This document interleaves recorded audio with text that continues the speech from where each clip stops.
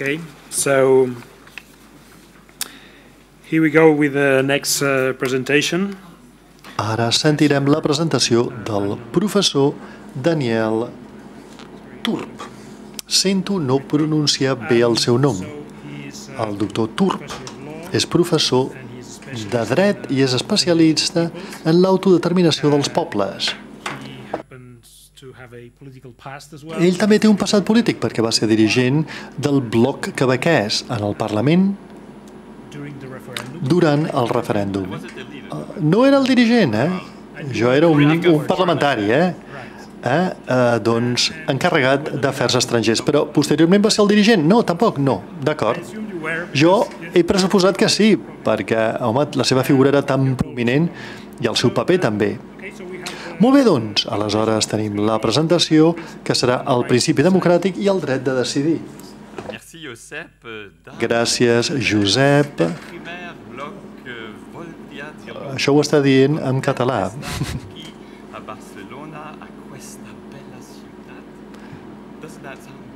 Això sona com italià, diu. Això més que català sembla italià, oi? Diu ell mateix. La història de Catalunya i on entrem en un període en el qual estan cridats a prendre decisions decisives per a la vida col·lectiva de la nació. N'est-ce pas?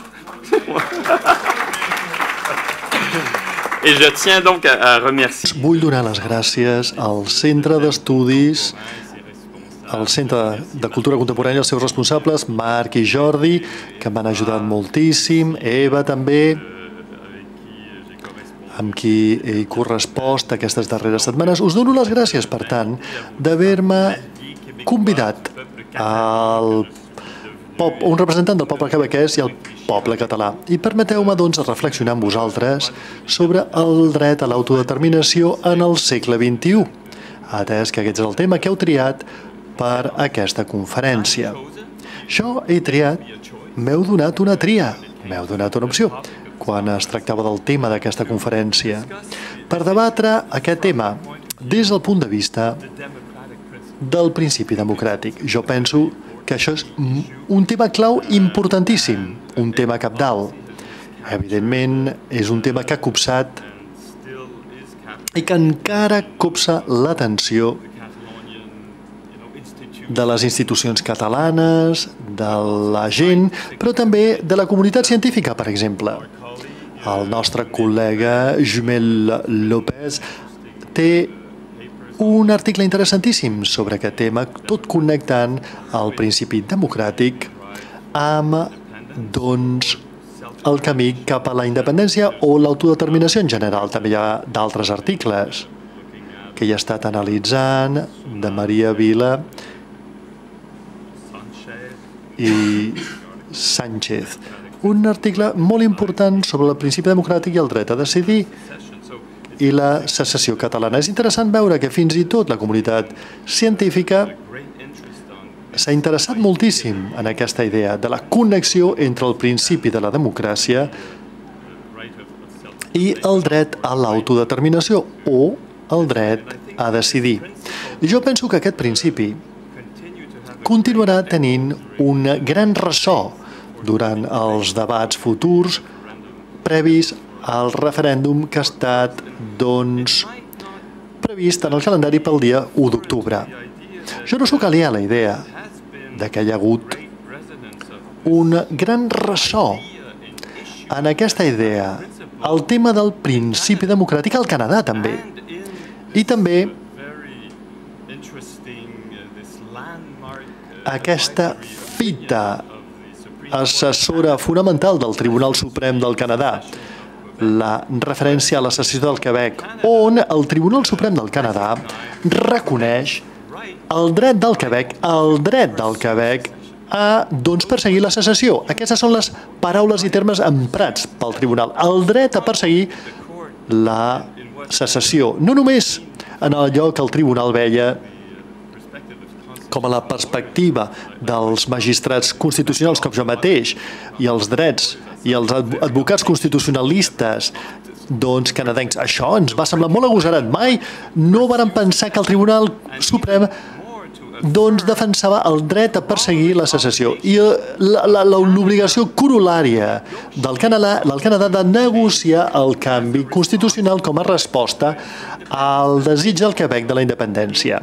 Això també està inscrit en l'opinió assessora del tribunal. Per tant, a mi m'agradaria presentar en la meva intervenció aquest tema, el principi democràtic com a font del dret quebequès de perseguir la secessió, el seu dret a decidir, el seu dret a l'autodeterminació. I potser això serà la primera part de la meva intervenció. I després, a la segona part, suggeriré que aquest principi democràtic, crec jo, és també el fonament del dret del poble català a decidir. I fins i tot s'hauria d'emfasitzar encara més en el debat futur previ al 1 d'octubre i em permeto comentar sobre l'esborrany de llei del referèndum sobre l'autodeterminació que es va presentar fa pocs dies aquí a Barcelona. I analitzar amb vosaltres aquest esborrany i veure si es fa algun tipus de referència al principi democràtic perquè aquesta serà la segona part de la meva intervenció. Molt bé. El principi democràtic, per començar. El principi democràtic ha guanyat importància significativa en el nostre debat al Quebec. Pel que fa a l'existència i l'abast del dret del Quebec a l'autodeterminació, nosaltres vam tenir dos referèndums.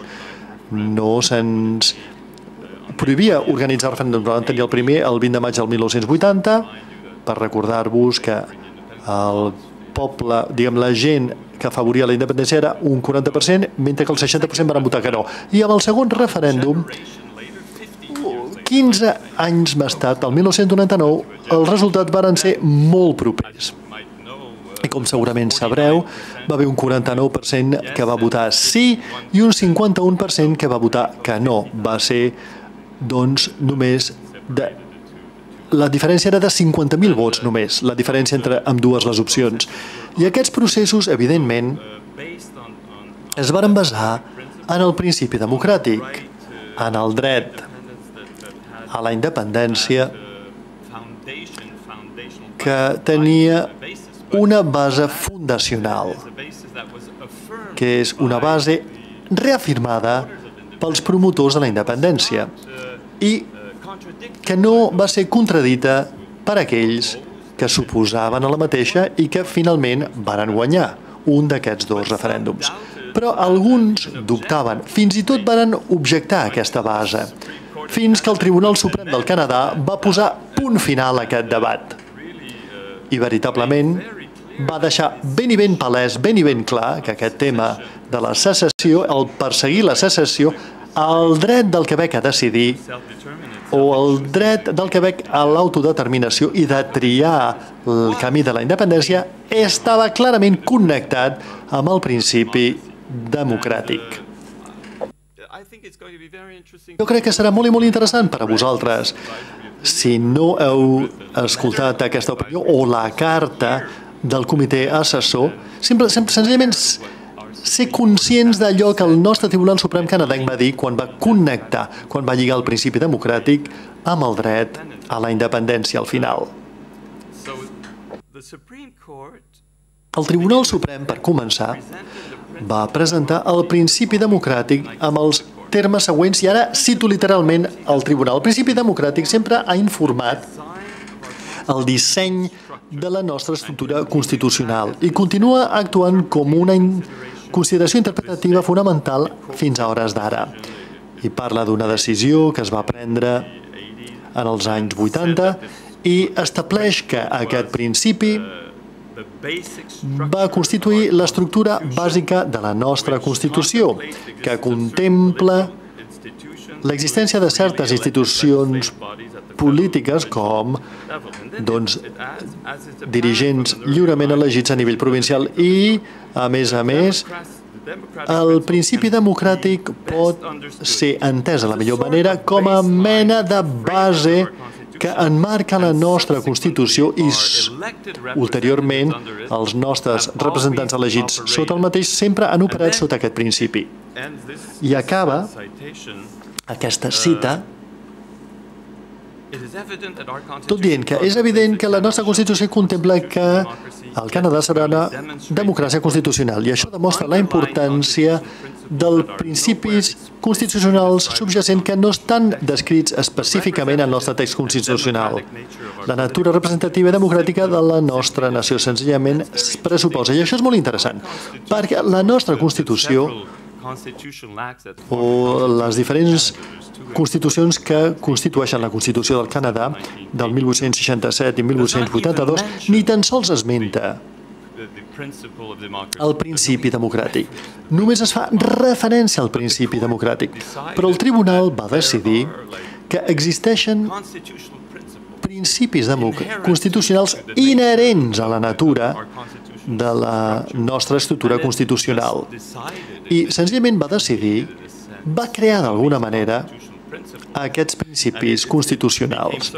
I va esdevenir tan important perquè varen esdevenir la font del dret a perseguir la secessió i l'obligació de negociar si hi hagués una expressió clara de la voluntat del Quebec d'esdevenir un país independent. Per tant, és interessant notar que encara que no hi ha una referència clara a la democràcia i al principi democràtic, el Tribunal Suprem senzillament diu que això forma part inherent de la nostra Constitució a través dels principis, el principi democràtic que, d'alguna manera, ni tan sols necessitaríeu fer aquí, perquè el principi democràtic és part inherent de la Constitució espanyola.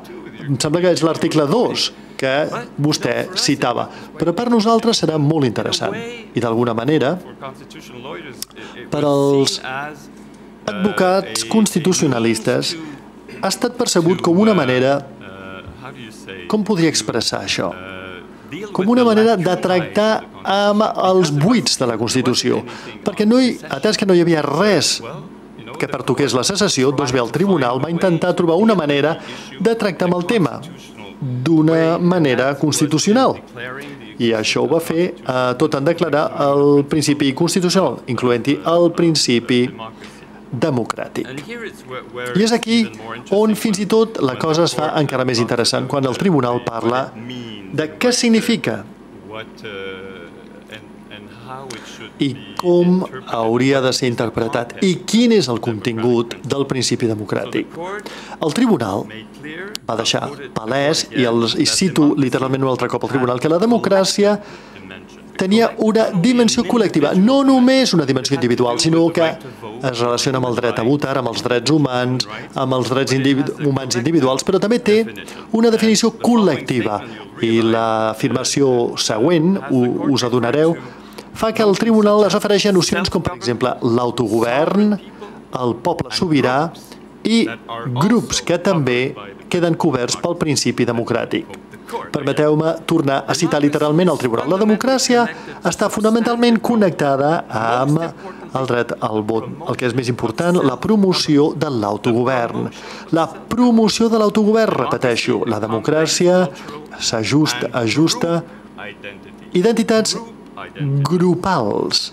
En d'altres paraules, un poble sobirà exercís, exercita el seu dret a l'autogovern a través del procés democràtic.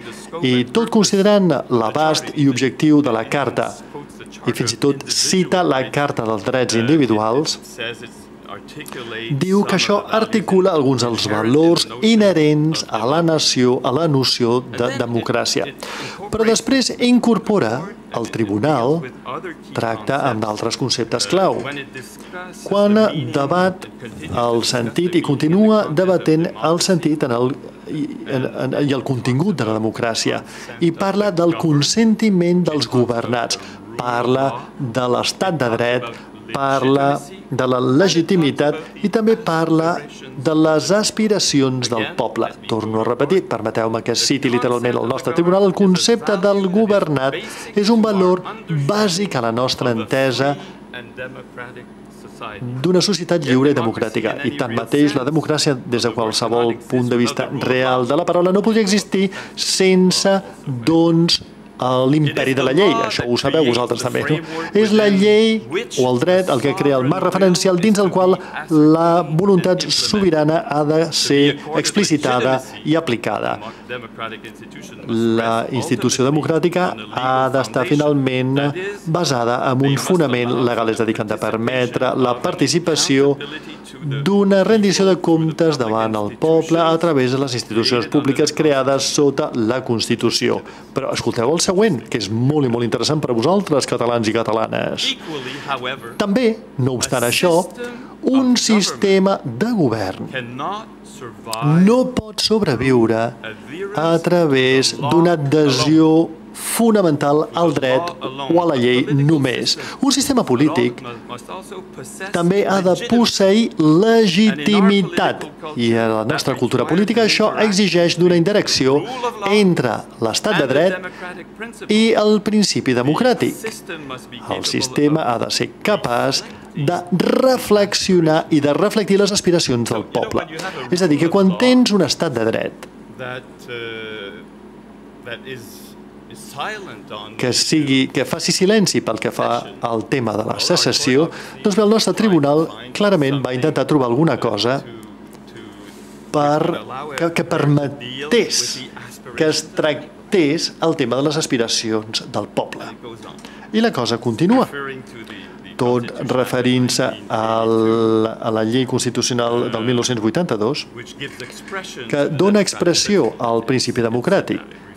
Diu, es refereix a això, perquè hi ha una petita referència feta en un article de la Carta Magna pel que fa a la societat democràtica,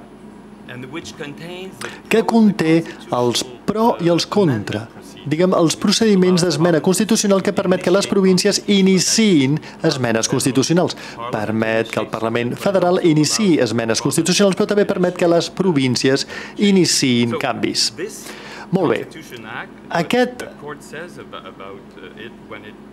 aquesta sentència constitucional que fa el tribunal quan parla del principi constitucional diu que els jutges això els dona només el dret a iniciar un canvi constitucional en cada participant de la Confederació, però imposa també un deure corresponent dels participants a la Confederació d'iniciar un debat constitucional per tal de reconèixer i tractar les expressions democràtiques del desig envers el canvi d'altres províncies, la qual cosa és interessant en el nostre context, perquè, per exemple, si el Quebec iniciés un canvi constitucional, que no fos mm, d'independència, sinó de més autonomia o del reconeixement de la, del Quebec com a nació en el, a la Constitució canadenca, el Tribunal Suprem diu que d'altres components del Canadà tindrien l'obligació de negociar amb Quebec i de tractar aquesta iniciativa.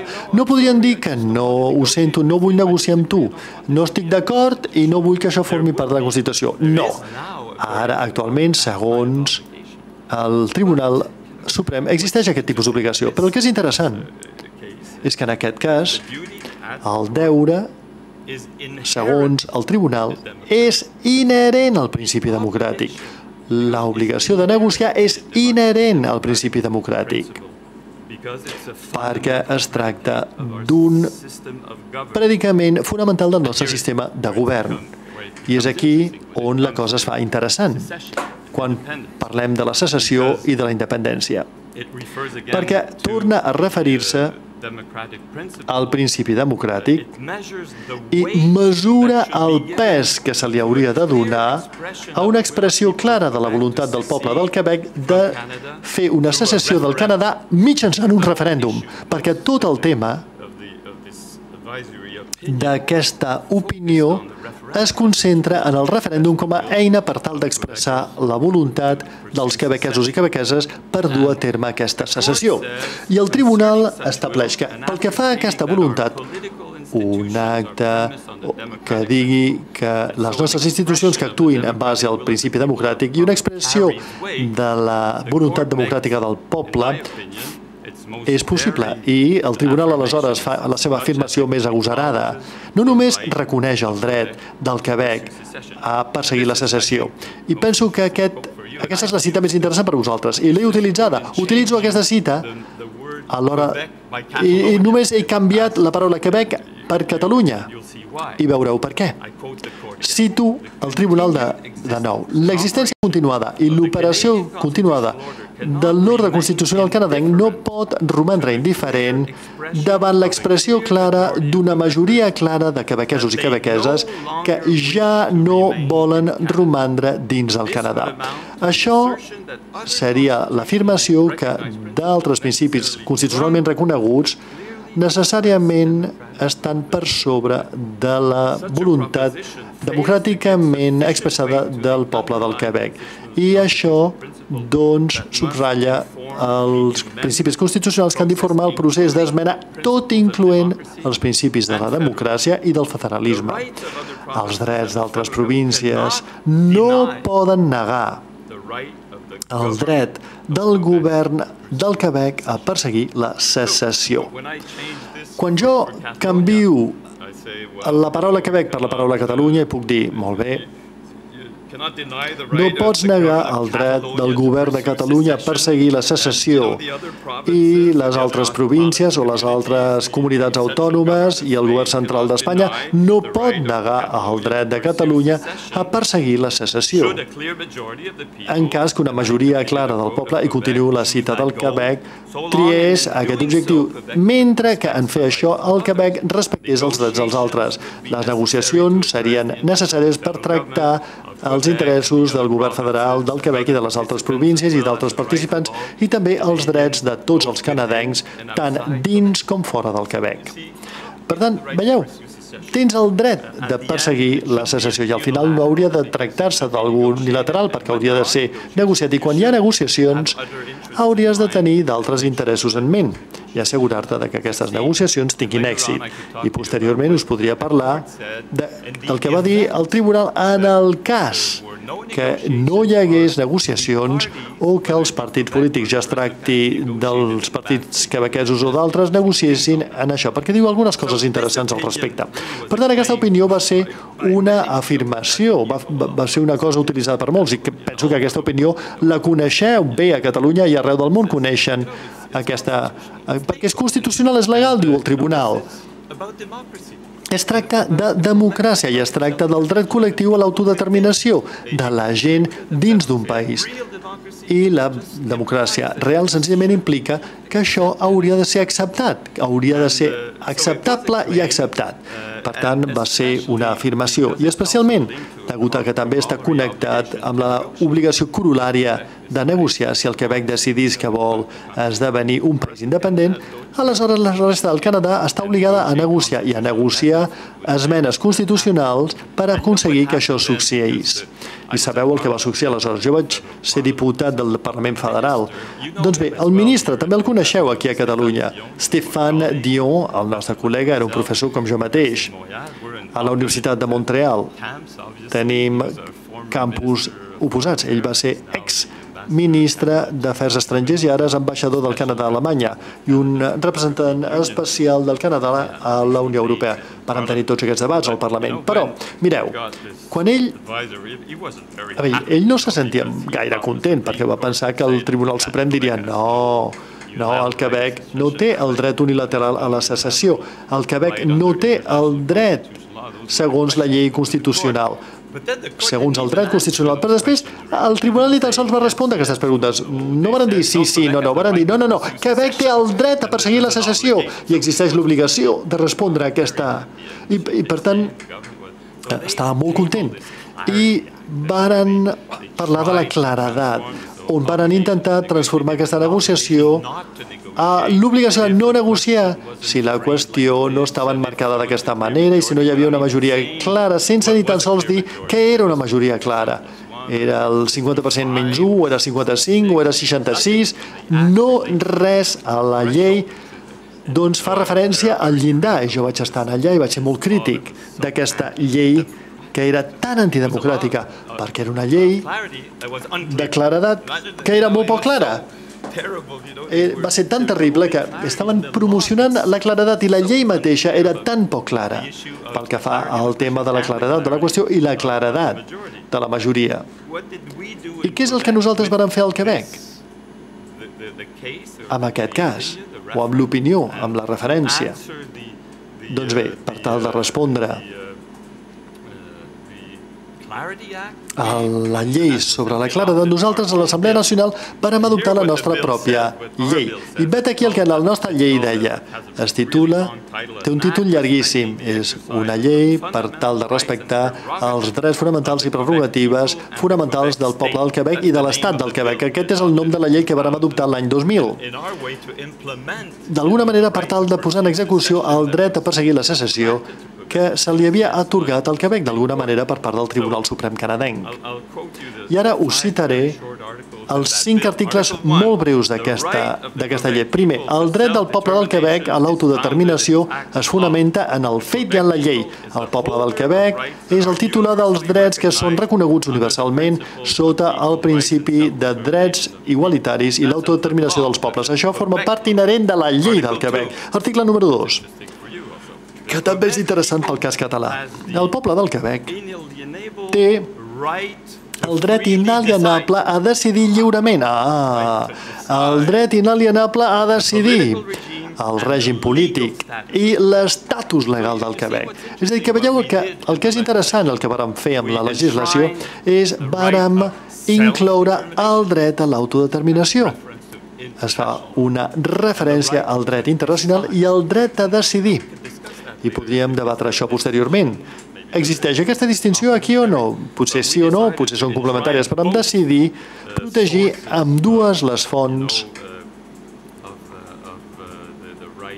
del dret a perseguir la secessió i aconseguir la independència. En tercer lloc, el poble del Quebec, tot actuant a través de les seves pròpies institucions polítiques, ha de determinar, conjuntament amb la modalitat d'exercici del dret, arribar a l'estatus polític del Quebec. Cap condició pot alienar aquest dret pel que fa a la consulta del poble del Quebec a menys que sigui determinat i corresponentment al primer paràgraf. És a dir, no pots organitzar el, el Quebec, organitzar no pots el teu propi referèndum, tu, govern federal segons les seves pròpies lleis i les seves pròpies regles. Només nosaltres podem organitzar un referèndum si volem exercir el nostre dret a l'autodeterminació i el nostre dret a decidir lliurement.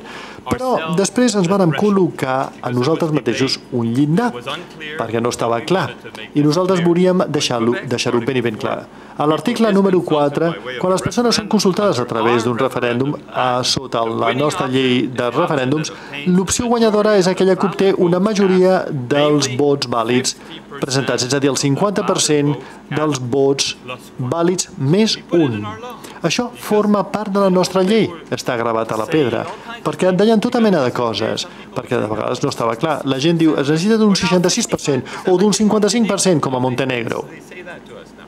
Això ens diuen actualment no. Nosaltres vam dir un 50% més 1 i vam estar molt contents quan sentim a Teresa May dir el 51% de Brexit. Això queda clar. I doncs segur que d'altres no els agrada dir això, sentir això perquè tenim tota la raó. Hi ha un darrer article, l'article 13, que és interessant, escolteu-lo. Cap altre Parlament o govern pot reduir els poders, l'autoritat, la sobirania o la legitimitat del Parlament Nacional o imposar limitacions sobre la voluntat democràtica del poble del Quebec a l'hora de determinar el seu propi futur. I nosaltres vam dir, ah, molt bé, el govern del Canadà, el Parlament del Canadà, no pot decidir el nostre propi futur a l'hora de reduir els nostres poders. Tal com podeu veure, el Quebec ha continuat el procés, de fet, d'empoderament legal.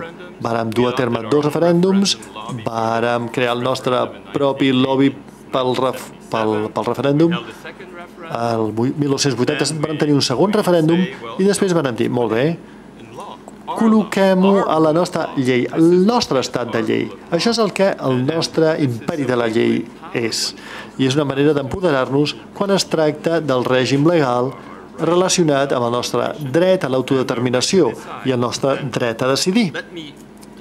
I permeteu-me ara que us parli una miquetona de Catalunya, perquè jo penso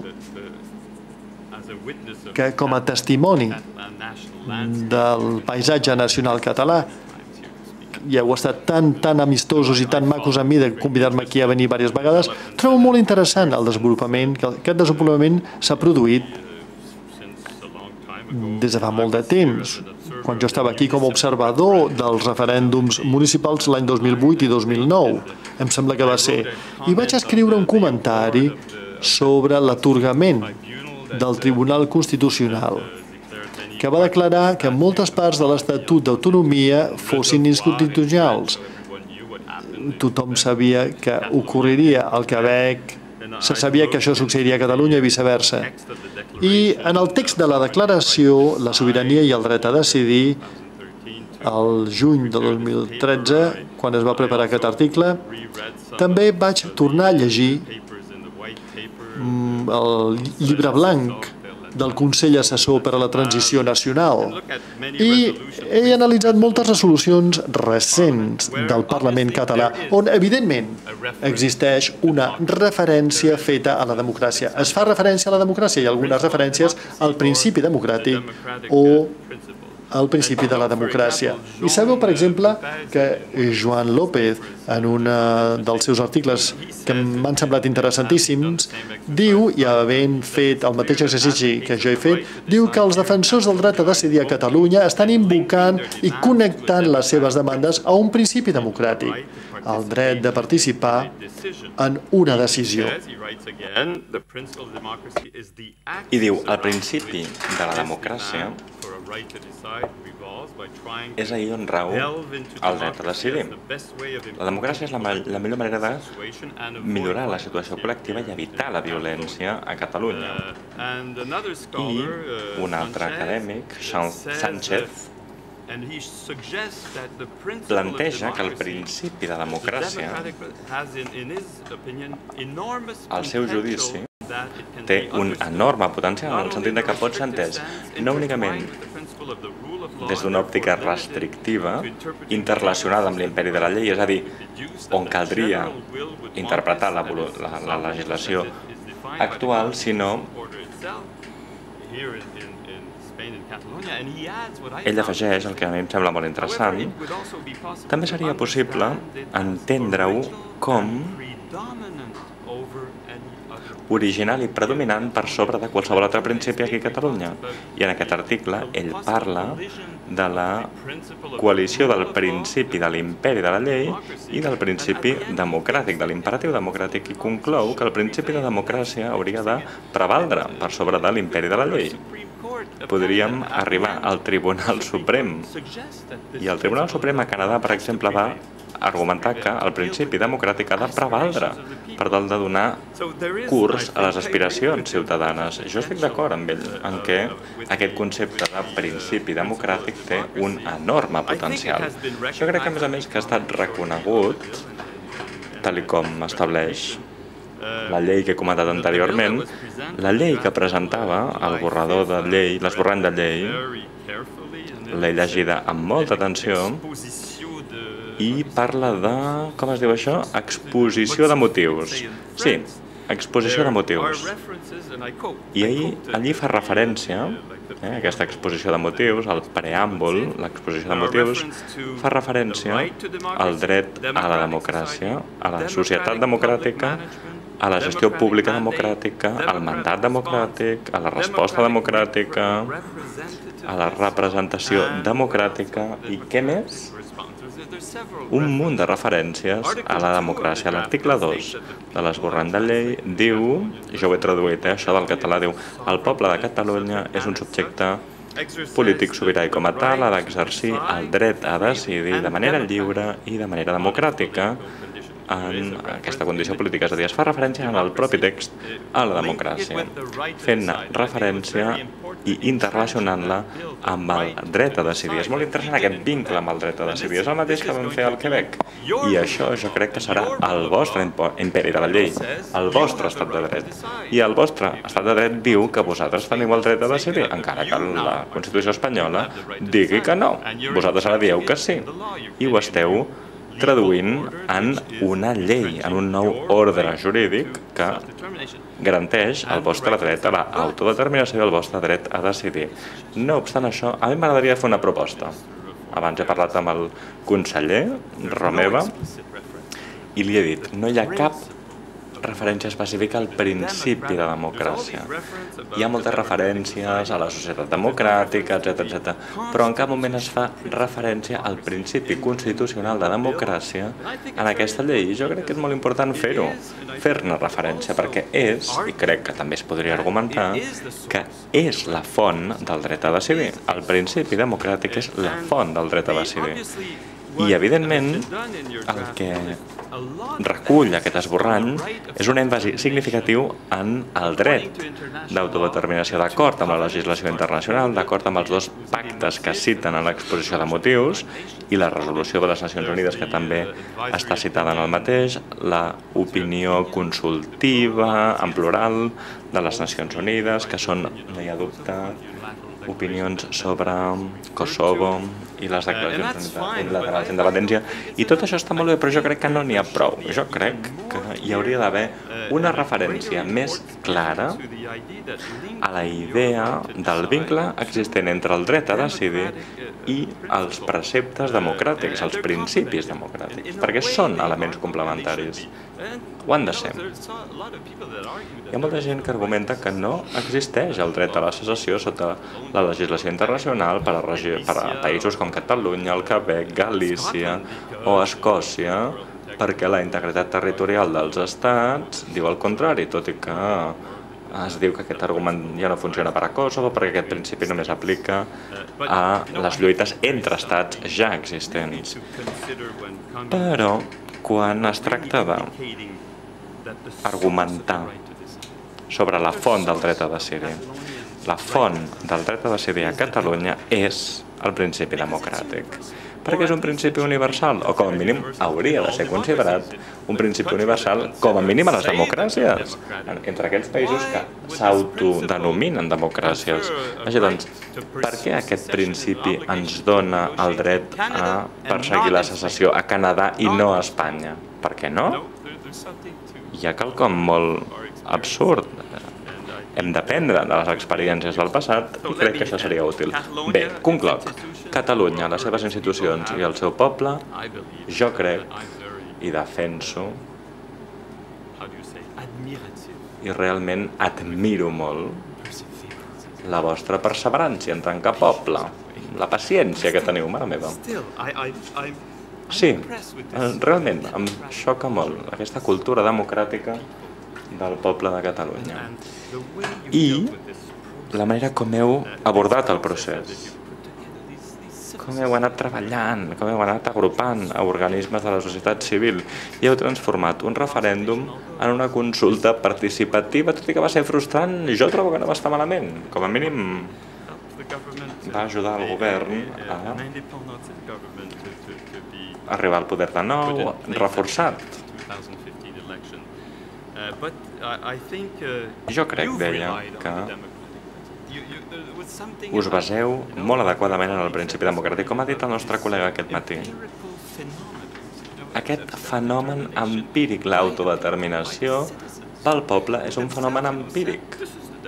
La gent ha dit, això és un principi democràtic, això és el que ens motiva, això és el que ens fa voler decidir el nostre futur. Volem un referèndum i és el que heu fet, us heu manifestat, heu fet tríptics i la societat civil s'ha mobilitzat i ha dit tenim el dret a decidir col·lectivament i individualment, fins i tot es podria dir que tenim el dret a decidir, a banda del dret col·lectiu. Podria arribat el moment d'exercir aquests drets.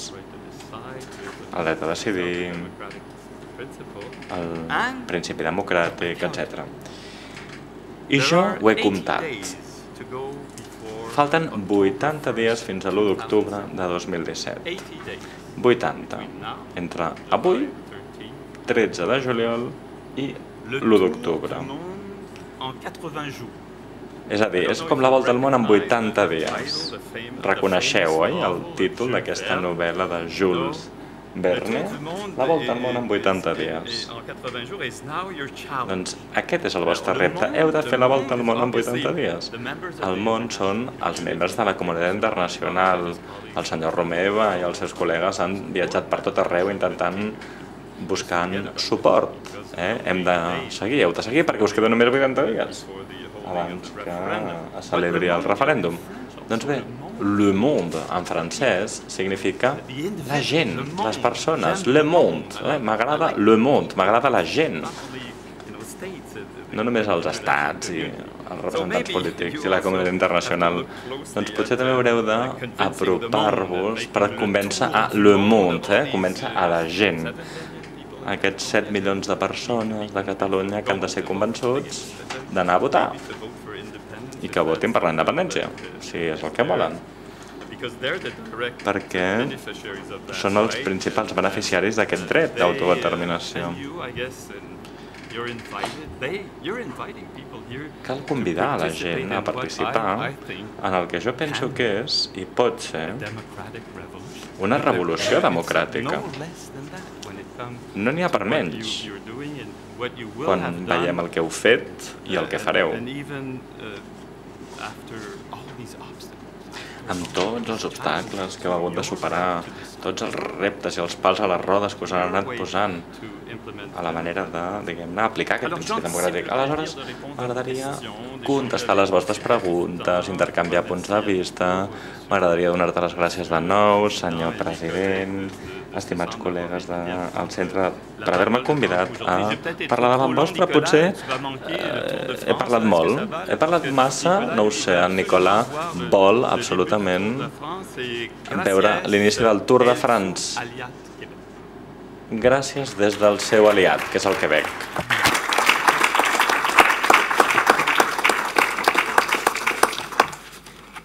Thank you very much for this uh, interesting stimulating presentation. Gràcies per aquesta presentació tan interessantíssima. Tenim alguns minuts encara per endavant per preguntes, comentaris. Qui vol parlar? Comentaris, preguntes... Endavant. Com que ja m'he perdut el Tour de França, faré la pregunta. És un comentari més aviat. M'agradaria saber què en penses sobre el tema de la majoria clara. Jo, que, jo crec que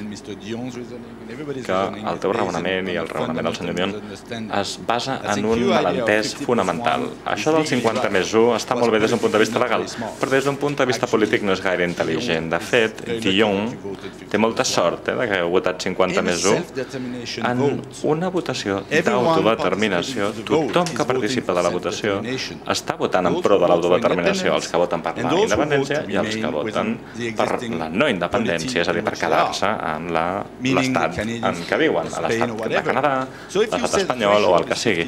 És a dir, quan es diu 55, vol dir que qualsevol resultat que vagi entre el 55.1 i 54.9 no seria vàlid tant si és sí com si és no. És a dir, del 50 al 54,9 hi ha allà un forat, perquè no obtenim una majoria clara i cal votar i votar i votar fins que es desencalla la situació.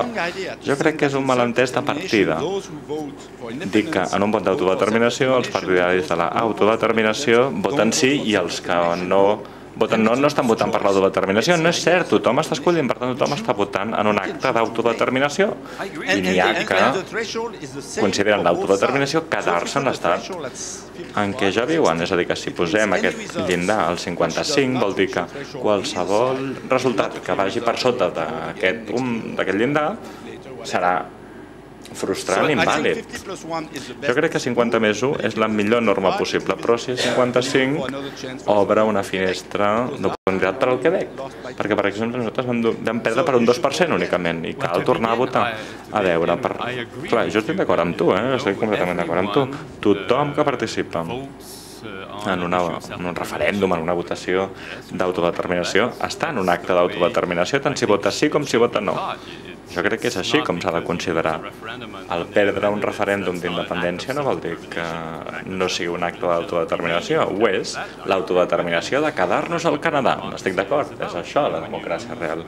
I quan es perd amb un 49%, no només pots dir, oh, quasi ho aconsegueixo, no, has de dir, d'acord, accepto el resultat. I al revés, què passaria al revés? És a dir, si està bé no aconseguir la independència amb un 49% dels vots a favor, per què no podem tirar endavant amb la independència si aconseguim un 51%? Perquè si establim un Lleida que estableix la majoria qualificada en un 55, en un 51, com la Constitució de Sant Cristof Enief, que crec que és l'única Constitució del món que estableix un llindar. Doncs en aquest cas estem fent que la gent que els ciutadans o que una minoria prengui decisions. És així, n'hi he pensat molt sobre aquest punt, Nicola.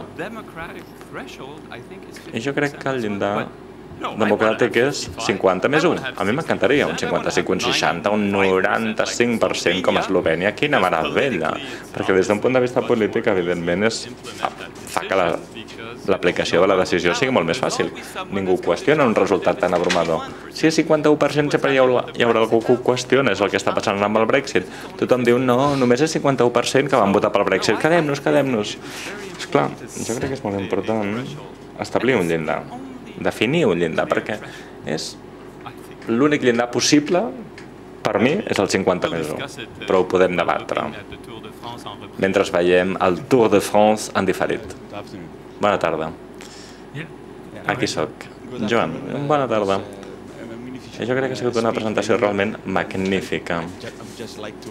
M'agradaria afegir que els catalans admirem molt el Quebec en la seva lluita i també els canadencs en general per el seu caràcter obert, per la, seu, la seva naturalesa democràtica, pel que fa a abordar el tema de la independència del Quebec.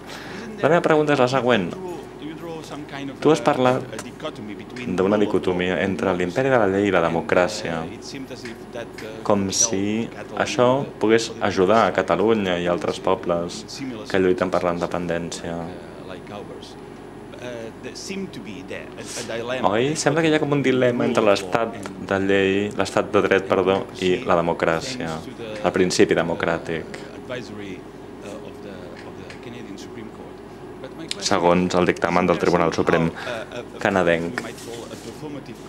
No hi ha una contradicció al fet de que el Tribunal Suprem digui quan hi ha democràcia, quan es respecta el principi democràtic i quan es respecta la voluntat del poble, això ha d'estar reflexat a l'estat de dret cal canviar les coses. L'estat de dret hauria de permetre que es canalitzessin les necessitats de la població. És a dir, quan ho diu el Tribunal Suprem, oi, és ell, el Tribunal Suprem, el responsable, no un professor, no un polític, no... És el Tribunal Suprem. Aleshores, en, aquest, en aquesta declaració del Tribunal Suprem, a veure, és la meva opinió, eh? però no crec que sigui només una opinió, crec que ja està, diguem-ne, entrant a formar part d'un procés democràtic, com has dit abans, els diferents actors implicats en un referèndum han de prendre en consideració aquest tipus de dictàmens. Aleshores, aquesta dicotomia de què parlaves acaba difuminada, perquè quan qui ho diu és el Tribunal Suprem tot canvia, oi? Jo crec que hi ha una dicotomia entre el principi de democràcia i el principi d'estat de dret. El que hi ha és una falta de coordinació entre tots dos conceptes. L'estat de dret en un sistema democràtic ha d'estar més al servei de la voluntat col·lectiva. Així doncs no estic exactament d'acord amb la manera com tu ho has descrit. You know the, what the Supreme Court did unanimously, eh? Nine judges unanimously. Què el Tribunal Suprem? De manera unànim. Sis jutges del Canadà anglosaxó i tres del Quebec, el que van fer va ser el següent van dir, no ho deia enlloc, eh, en la Constitució, van, deien que l'estat de dret inclou el dret a la secessió i l'obligació de totes dues parts a negociar. Va ser la instància que va intentar, i espero que tothom vegi que va ser un èxit, que va intentar agrupar l'estat de dret i la idea segons la qual la democràcia hauria de incloure la possibilitat d'expressar una voluntat d'independència per part d'un grup social o d'una població. Jo crec que el Tribunal Suprem en aquest sentit va fer quelcom lloable, que va ser no permetre al govern de Canadà, com està fent el govern d'Espanya, a dir l'estat de dret és això, no hi ha dret a la secessió, Espanya és una nació indivisible, indivisible en tot, i això deixa de fora la secessió i fins i tot la consulta d'autodeterminació.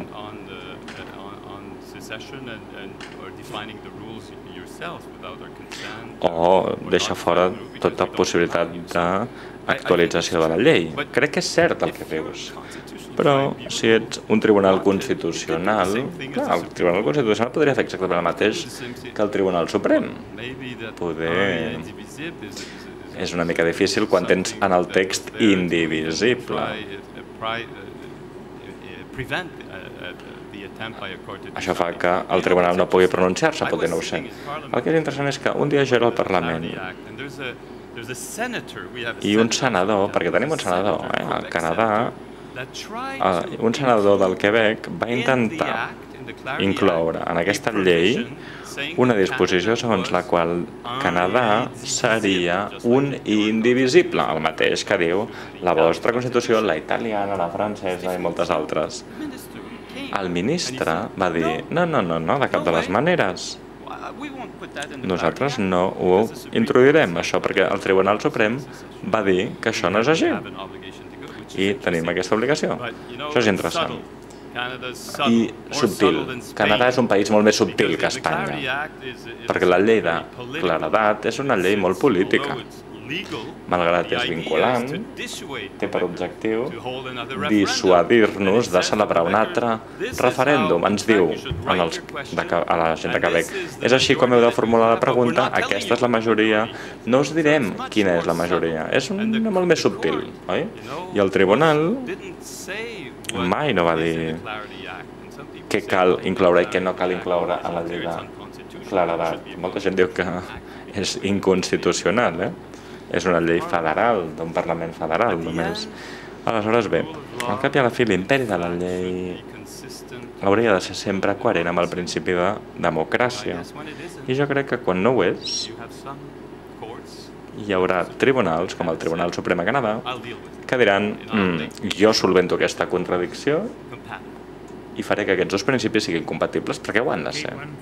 Vinga, una última pregunta.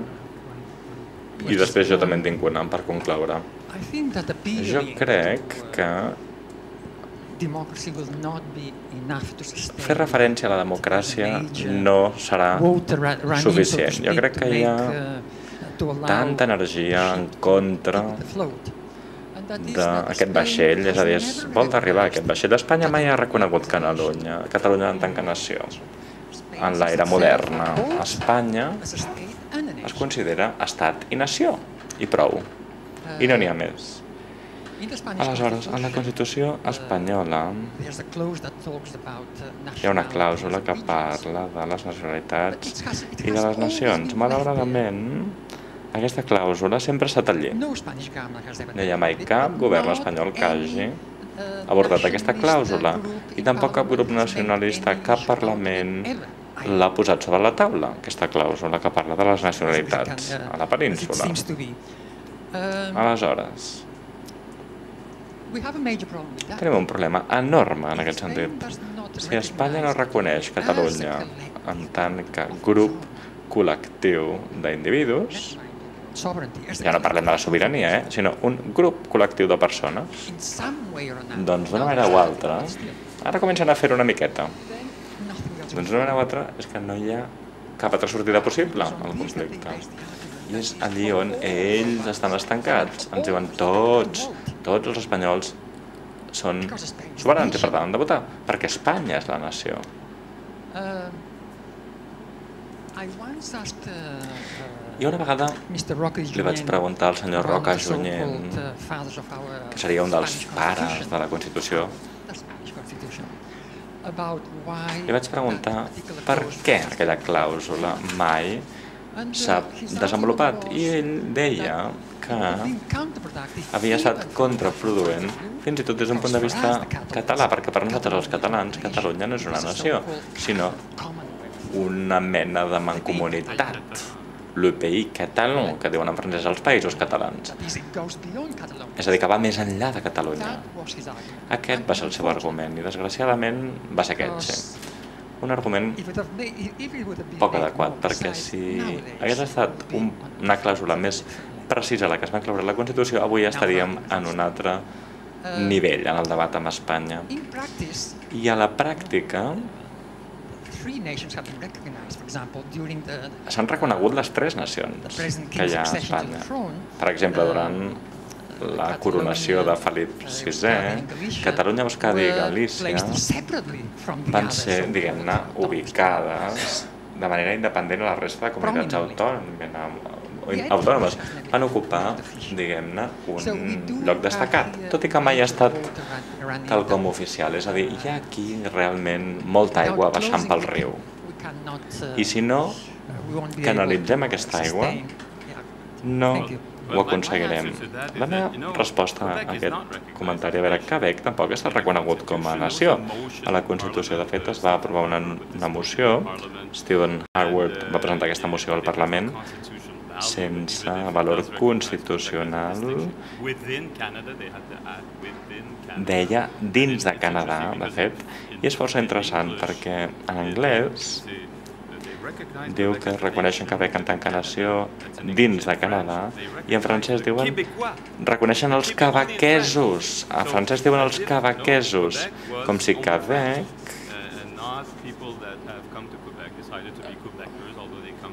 fos d'alguna manera d'origen francès independentment de si venen de Grècia, Itàlia o Cancún oi? els cavaquesos és com si fos una qüestió ètnica, els cavaquesos, els francòfons, aquella gent que parla en francès.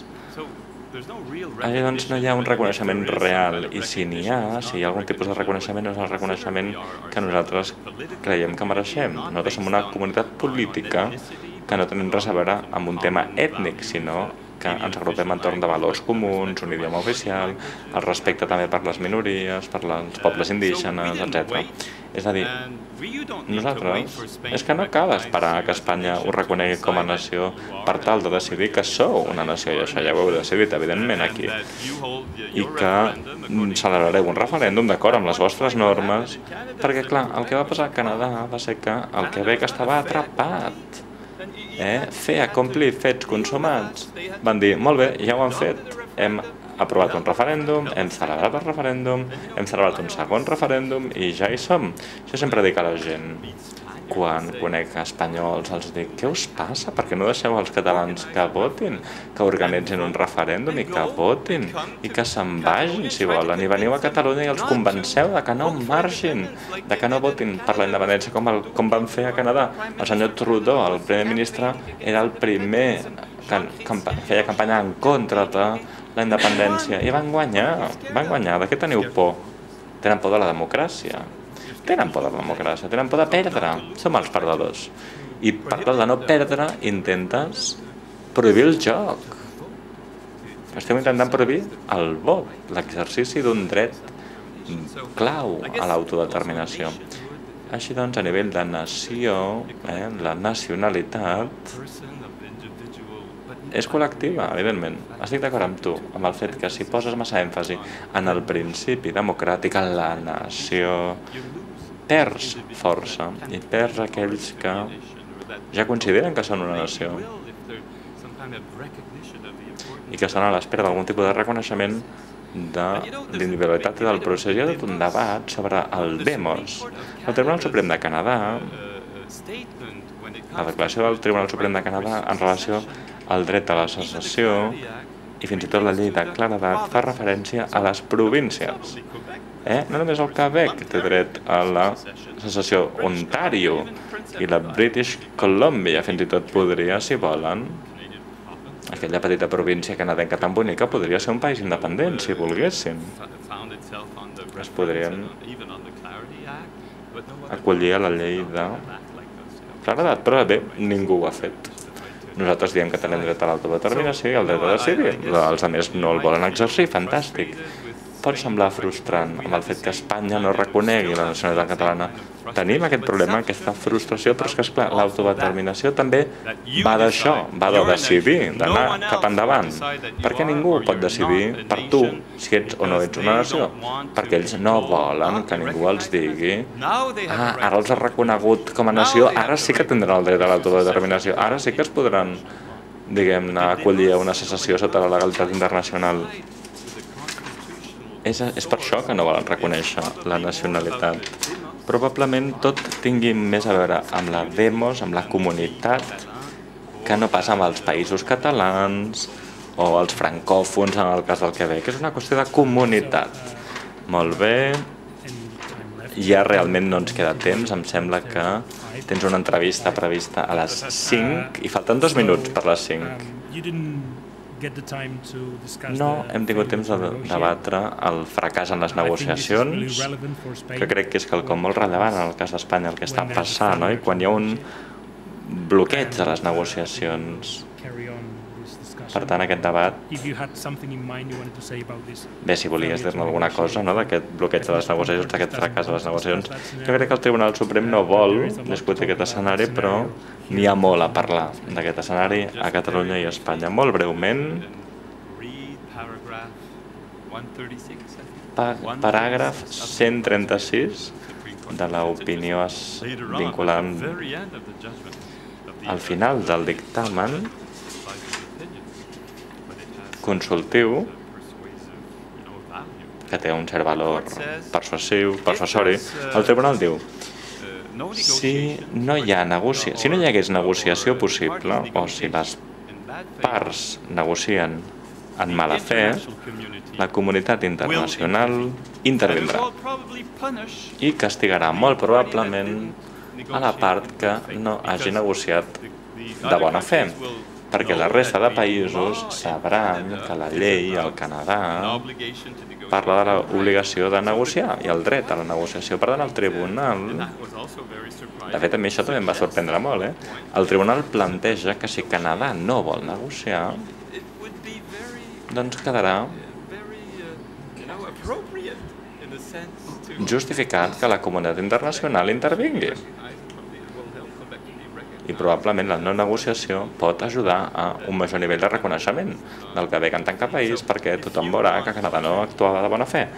Per tant, si realment volem o voleu importar d'alguna manera les normes del Tribunal Suprem de Canadà i l'argumentació del Tribunal Suprem del Canadà pel que fa al dret a la secessió, que ja no és un dret que sou reconegui vosaltres i també l'obligació de negociar, doncs podríeu dir que Espanya ni tan sols vol és que de fet ens han dit que en qualsevol cas no negociaran res.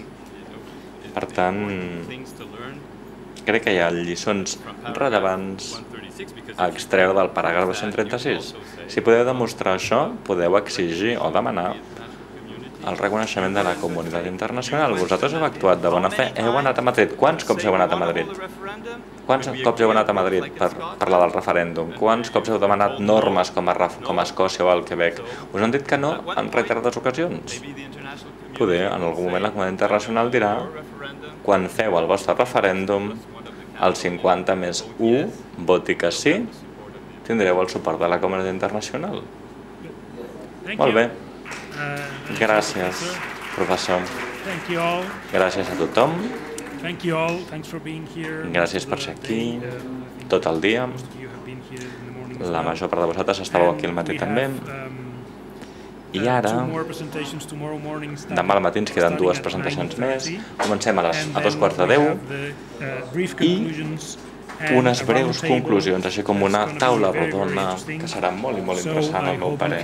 Espero que pugueu venir demà a les 9 a dos quarts de 10. Un cop més, moltíssimes gràcies. Adeu.